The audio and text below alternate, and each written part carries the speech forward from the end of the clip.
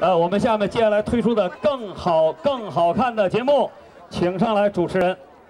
谢谢谢谢，我来了。谢谢我们的三位男大高音哈。啊，今晚呢，我们用欢乐的歌舞，尽情的祝福奥运，祝福我们伟大的祖国。接下来呢，我们要为大家带来的是舞蹈《好日子》，由陈琳舞蹈学院的小朋友为大家表演。